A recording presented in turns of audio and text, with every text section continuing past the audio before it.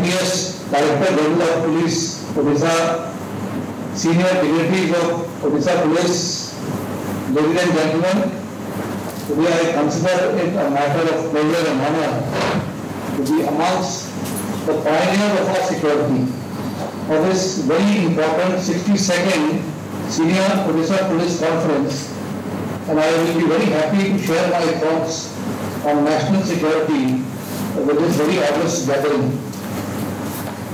Policemen, as we are all aware, are the most visible representatives of our government and are often expected to become the first responders whenever there is a crisis facing any city, any district, or any part of our nation.